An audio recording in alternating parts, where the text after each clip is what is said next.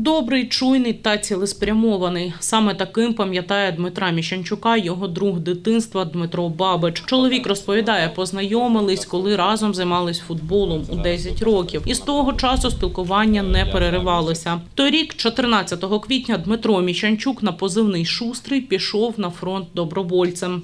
Він хотів спочатку піти на деблокаду Маріуполя, допомогти мені, так як я його друг. Я йому розповідав, що це неможливо. Але туди його не взяли, і деблокади як такої не було.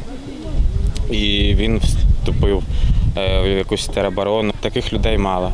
Смілива, добра людина.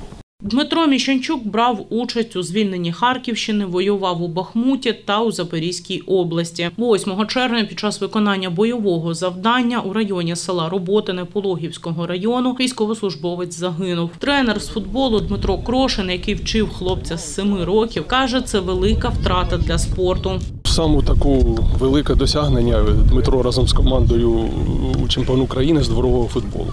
Е, Проводився такий турнір в Києві, і команда Вільнянська поїхала захищати е, честь Запорізької області. І вони там зайняли перше місце.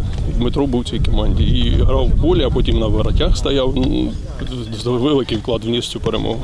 У Вільнянську влаштували футбольний турнір пам'яті Дмитра Міщанчука. Участь у ньому взяли учні школи, в якій він навчався, його друзі та побратими. Дмитро Крошин каже, обрали саме такий спосіб вшанування, оскільки футбол був невід'ємною частиною життя Дмитра. Футбол не, не покидав. Да, він і працював, але вони з друзями постійно збиралися.